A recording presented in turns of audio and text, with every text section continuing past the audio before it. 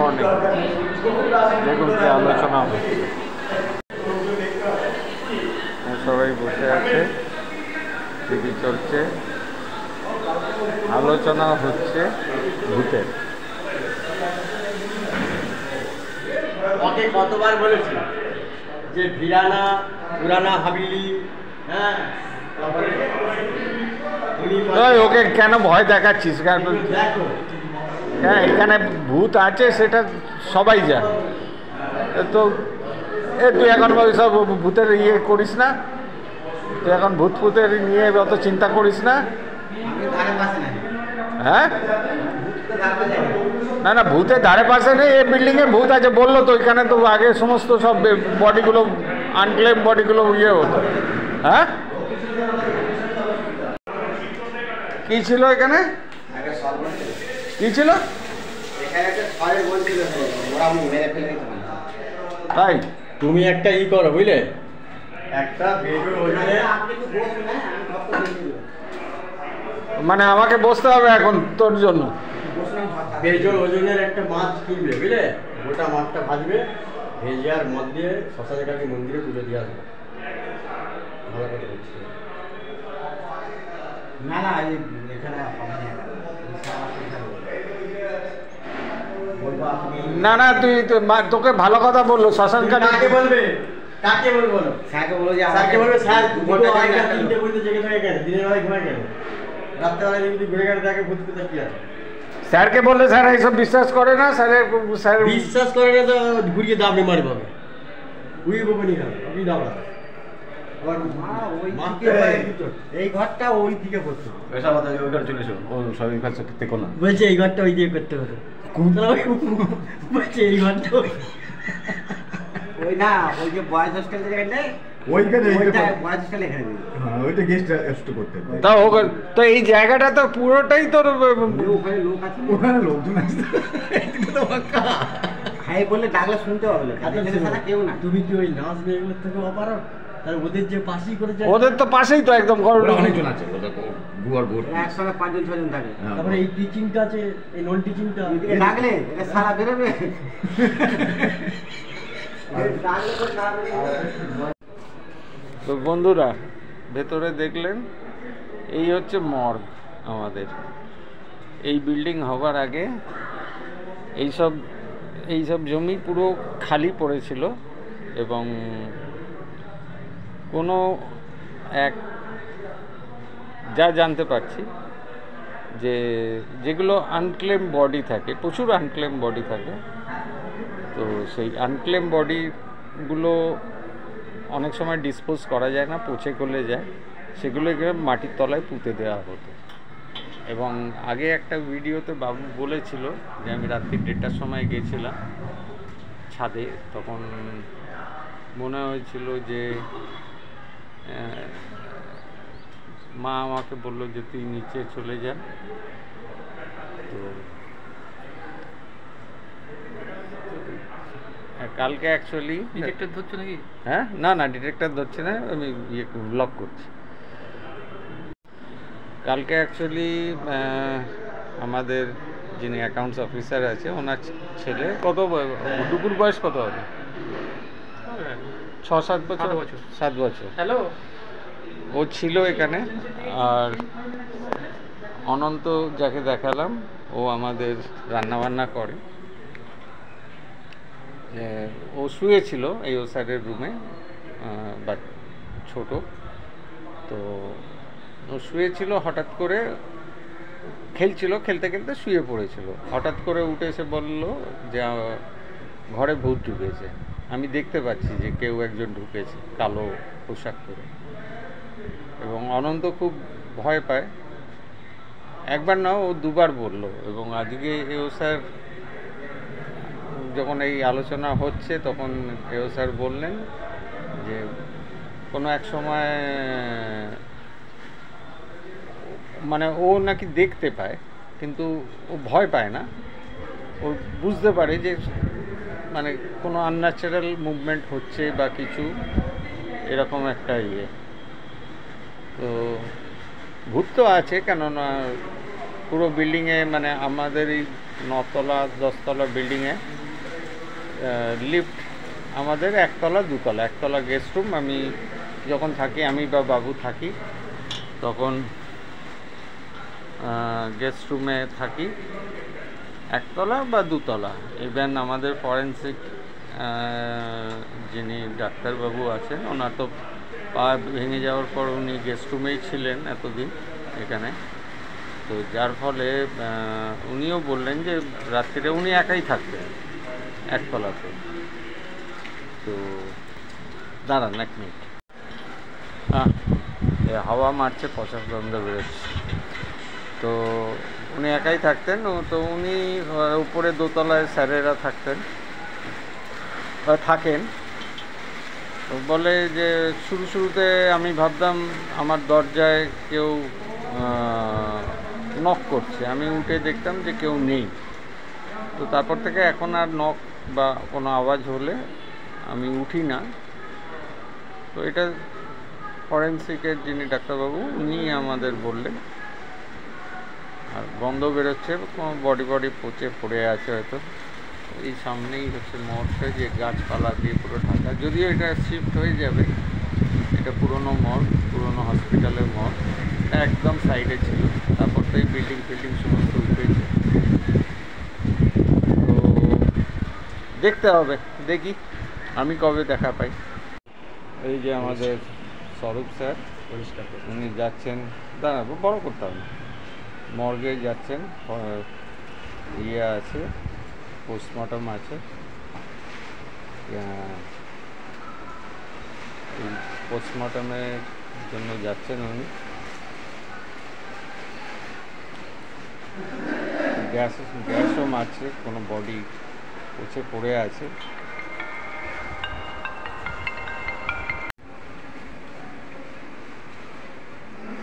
তো দেখুন, আমি সেই দিল্লিতে দেখেছিলাম। তারপরে এসে এখানে বাবু একদিন করল, বাবু বলল, আবার কালকে আয়ুষ, ওর নাম আমাদের এ সাহেবের ছেলের নাম হচ্ছে আয়ুষ। আয়ুষও কালকে ইয়ে করেছে। তো, আছে তো আনন্যাচারাল কিছু মুভমেন্ট আছে এখানে। দেখা যাক। অপেক্ষায় রইলাম। সিঁড়ি দিয়ে একটা অদ্ভুত আওয়াজ আসে। করে।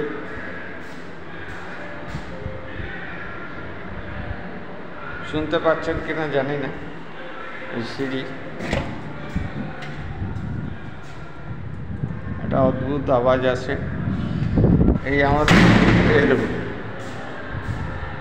লিফট জিরোতে থাকে তো। মানে নেমেছে। কখনো কখনো এটা নতলায় চলে যায়। কিন্তু এই বিল্ডিংয়ে একতলা আর দোতলা ছাড়া ইউজ হয় না। এটা নতলায় চলে যায়। যাই হোক, অনেক ডিটেলস দিয়ে দিলাম। চলে এলাম গ্রাউন্ড ফ্লোরে এই পেছনে এই যে জঙ্গলটা দেখতে পাচ্ছেন, এই যে ঘাস জঙ্গল, এর পেছনেই মর্গ তো আচ্ছা এটা আগে এখানে ডোবা ছিল, যা শুনেছি। আগে ওই দিকে দাঁড়ান এক মিনিট। আগে ওই এসএসএইচ বিল্ডিংয়ের পাশে ওখানে আনক্লেম বডিগুলোকে ফেলে দেওয়া হতো। তারপর এখানে, ওখানে যখন বিল্ডিং হয়ে যায়, তখন এই দিকে একটা ডোবা ছিল, এই মর্গের পাশেই। তো এইখানে সমস্ত বডি ফেলা আরম্ভ হয় এবং গাছগুলো এত সুন্দর হচ্ছে এই কারণে, কেননা নিচে প্রচুর বোনস আছে। এই কয়েকদিন আগে লাগানো হলো গাছগুলো, কত বড় হয়েছে, কত সুন্দর ফুল হয়েছে। প্রচুর মানে সুন্দর ইয়ে। তো যাই হোক, চলুন, আবার পরে আসছি। গুড ইভিনিং এভরিওয়ান আমি সৌনক, আজকে আবার চলে এসেছি ক্যামেরার সামনে একটা ব্লগ নিয়ে। ব্লগটা অ্যাকচুয়ালি পাপ্পা স্টার্ট করেছিল। পাপ্পা আরামবাগ থেকেই স্টার্ট করেছিল। আজকে দুপুরবেলা পাপ্পার সাথে আমি অনেকক্ষণ ফোনে কথা বলছিলাম। এখন পাপ্পা রেগুলার যেতে হয় মানে আরামবাগে। তো এক্সেপ্ট ফর সানডেজ পাপ্পাকে এখন রেগুলার যেতে হয়। তো, পাপ্পার সাথে আমার সেই অর্থে কথা বলার সময় হয় না। কেননা পাপ্পা রাত্রিবেলা এই এখন বাজে যেমন পৌনে নটা রাত্রিবেলা। তো পাপ্পার ফির ঢুকতে ঢুকতে সাড়ে নটা, দশটা বাজবে।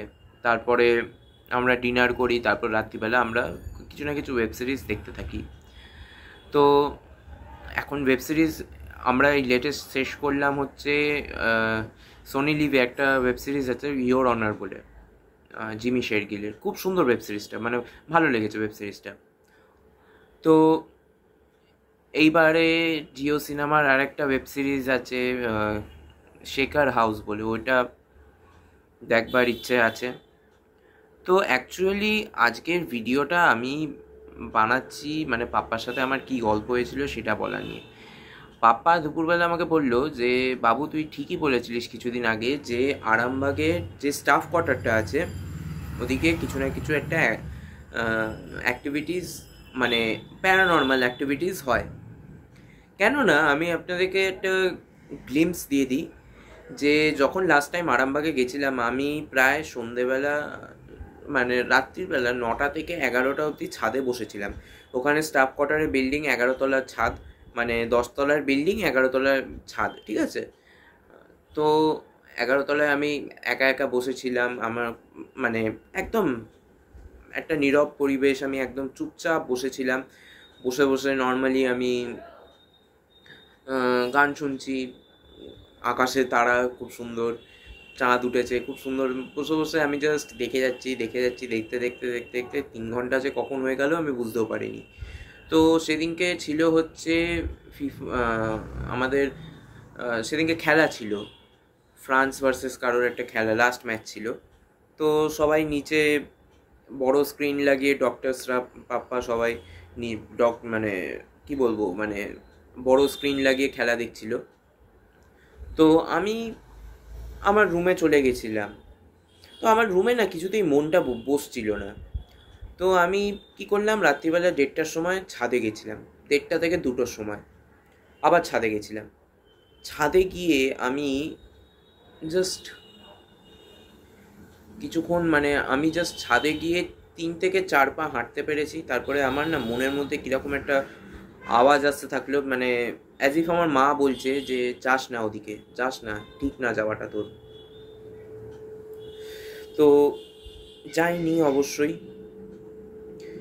আজকে গিয়ে সেখানে জানতে পারলাম যে, ওখানকার যিনি অ্যাকাউন্টস অফিসার আছেন, ওনার ছেলে কালকে মধ্যরাতে এরকম প্যারানর্মাল অ্যাক্টিভিটিস রুমেই ফেস করেছে। যে রুমের মধ্যে কেউ একটা আছে, কিছু একটা আছে যেটা আমাকে ঘুমোতে দিচ্ছে না that is bothering me and মানে সেই জিনিসটা এতটাই অ্যাফেক্ট করছে যে ঘুমোতে দিচ্ছে না। তো পাপ্পা বলল যে মানে মেনে গেলাম তোকে যে তোর বুকে এত দম যে তুই একা একা ছাদে চলে গেছিলিস সেই সময়, ভূত থাকা সত্ত্বেও। অ্যান্ড ওখানে কিছু একটা ছিল কালকে রাত্রির বেলা সেটা আজকে সবাই বলা বলি করেছে যে অ্যাকচুয়ালি ওখানে কিছু একটা ছিল। তো আমি জানি না, আমার মনের মধ্যে এতটা সাহস কীভাবে এসছে, কোথা থেকে এসছে? আমি কোনোদিনও, আমি বরাবর ভূতে ভীষণ ভয় পেতাম। আমি, আমার মা দুজনেই ভূতে ভীষণ ভয় পাই। মানে আমার মা তো এত হর্ন বাইরে। আমার মা তো দিল্লিতে যখন থাকতো মানে শুরু শুরুতে যখন গাজিয়াবাদে ছিল, তখন তো একটা হন্টেড হাউসে স্টোরিটা বলেইছে মা ব্লগে পুরোনো ব্লগে হন্টেড হাউসে এক বছর থেকেছে পুরো। তাও আমার মায়ের ভয় ছিল। আমার মনের মধ্যে একটা ভয় ছিল, কিন্তু সেই ভয়টা আজকের ডেটে বলতে গেলে কেটে গেছে। আমি যখন ছাদে যাই, আমি আমি নিজের বাড়ির ছাদে উঠতে ভয় পেতাম যে কিছু একটা আছে, কিছু একটা আছে। যেটা মাম্মিকেও বলতাম যে, মাম্মি, ছাদে উঠতে ভয় লাগছে, কিছু একটা আছে মনে হচ্ছে ছাদের মধ্যে। তো সেই হচ্ছে কথা। দেখা দিয়েছে। তো এখন ওইটা নিয়ে ওদিকে সবাই বদার্ড কেননা ওই স্টাফ কোয়ার্টার মানে ডক্টরদের কোয়ার্টারে ওদিকে কেউ খুব একটা বেশি এখন আর মানে পুরো বিল্ডিংয়ের মধ্যে মানে এগারো তলার বিল্ডিং এগারো তলার বিল্ডিংয়ে মাত্র সেকেন্ড ফ্লোরটাই অকুপাইড মানে সেকেন্ড ফ্লোরেই ডক্টররা থাকে, তাও দুটো ফ্ল্যাটে তাও দুটো ফ্ল্যাটে বাকি যে কতগুলো রুম আছে আমি নিজেও জানি না। এগারো তলার বিল্ডিংয়ে কতগুলো যে রুম আছে, সব রুম খালি। সব কটা রুম খালি। অ্যান্ড কিচ্ছু নেই সেই রুমের মধ্যে। মানে জাস্ট এসি একটা খাট, একটা সোফা আর একটা আলমারি আর একটা সেন্টার টেবিল তাছাড়া আর কিচ্ছু নেই রুমের মধ্যে। তো ওই জায়গাটার, তার পাশেই হচ্ছে মানে বিল্ডিংটার পেছনের দিকেই হচ্ছে কবরস্থান মানে যেখানে কবর দেওয়া হয়। মানে এমনকি আমার মা যেদিনকে মারা গেছিল, যেদিনকে রাত্রিবেলা আমার মা মারা গেছিল, সেদিনকে আমি রাত্রিবেলা একা একা ওই এরিয়াটাতে ঘুরছিলাম। মানে ওই ওই কবরস্থানের পাশের মানে ব্যারিয়ার মানে ব্যারিকে মানে কি বলব, একটা ব্যারিয়ার দেয়াল আছে, তার ঠিক উল্টো দিকে আমি ঘুরছিলাম একা একা। পাপ্পা আমাকে টেনে নিয়ে এসেছিল, বলেছিল যে তুই ওখানে কেন ঘুরছিস? তুই ওখানে কি করছিস? ওখানে একদম যাবি না, ওখানে যাওয়া মানা আছে। অ্যান্ড আমি তো আমি, যাওয়া মানা আছে মানে সেখানেই যাব। কিন্তু এটা শোনার পরে মানে অ্যাটলিস্ট আমি এটা বলতে পারব যে হ্যাঁ মানে আমাকে ছাড়াও কেউ একটা গোস্টলি এক্সপিরিয়েন্স করেছে। মানে সেদিনকে মনের মধ্যে না একটা আলাদাই ভয় কাজ করছিল যে কিছু একটা আছে ওখানে। মানে কানের মধ্যে অদ্ভুত আওয়াজ শুনতে পাচ্ছি, যেটা আমি রাত্রির নটা থেকে এগারোটা অবধি যেটা শুনিনি, আমি সেটা রাত্রি দেড়টার সময় শুন- শুনতে পাচ্ছি। আমি অন্ধকারের মধ্যে মানে জাস্ট হেঁটে যাচ্ছি। অ্যান্ড তাছাড়া বলতে গেলে আমাদের মানে এখন যা কারেন্ট কন্ডিশন চলছে, সেই কন্ডিশনে সত্যি কথা বলতে গেলে আমার ভিডিও বানাতে একদমই ইচ্ছা করছে না।